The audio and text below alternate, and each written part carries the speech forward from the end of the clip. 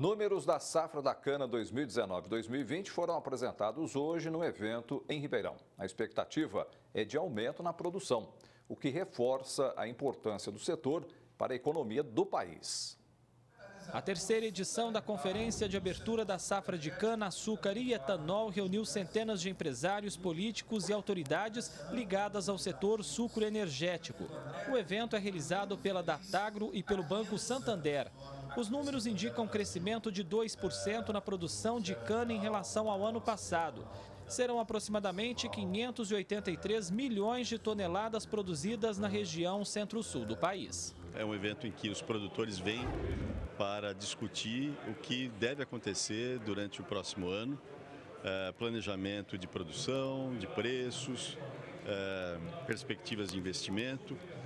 É, e o setor vem de uma performance muito importante no ano passado, em que houve um aumento do consumo de etanol muito expressivo. Isso é, o Brasil está substituindo quase 44% da sua gasolina por etanol.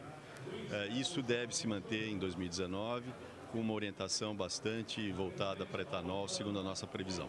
Ao longo do dia, diversas palestras debateram assuntos importantes, como o papel do etanol e dos biocombustíveis para o desenvolvimento, energia e meio ambiente. O preço e a política fiscal também estiveram na pauta. O presidente da Organização de Plantadores de Cana da região Centro-Sul do Brasil participou do encontro e falou sobre a importância do setor para a economia. É o principal negócio agrícola do estado de São Paulo e a nossa mudança de Piracicaba para Ribeirão já foi nessa estratégia, ficar próximo do Centro-Oeste. O Centro-Oeste também são parceiros, estados produtores importantes e congrego o volume de conhecimento e de aplicação prática de todo esse conhecimento. Eu acho que foi muito oportuno estar trazendo para Ribeirão Preto. É o coração do agronegócio, uma cidade de muita importância. O secretário de Agricultura e Abastecimento do Estado representou o governador João Dória na conferência. Para ele, o setor sucroenergético tem papel importante no PIB do Estado, principalmente a macro-região de Ribeirão Preto. O setor da cana em São Paulo é um setor é, muito importante, representa 50% de toda a, o PIB agropecuário do estado de São Paulo, a cana representa 50%. Tem a maioria dos empregos são gerados uh, dentro do agro, são gerados dentro do setor uh, sucroenergético.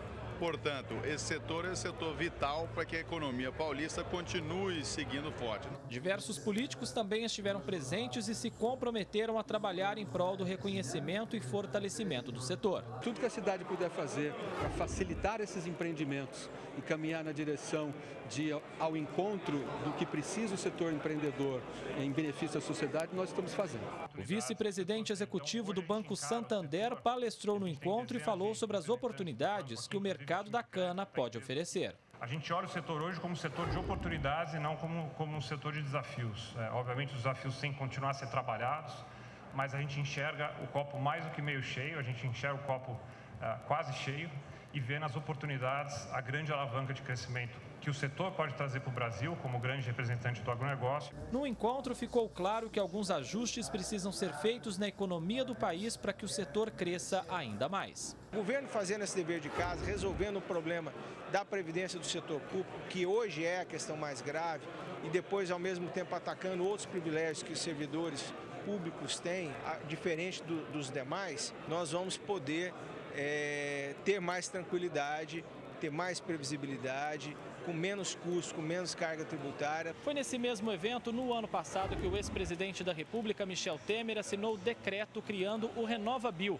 que estabelece políticas de incentivo aos biocombustíveis. Agora a expectativa de todos aqui é que o programa seja implantado até o ano que vem. Estamos em fase final de regulamentação do mesmo. A expectativa é que nós consigamos certificar as empresas, já estamos conversando com as certificadoras e que possamos concluir todo o processo até o final do ano para que ele comece a vigorar é, como previsto na lei a partir é, de janeiro do próximo ano. Que esse programa traga a segurança jurídica, traga a previsibilidade para que, as, para que fundos, para que os empresários voltem a investir no setor. André Costa para o Jornal da Clube.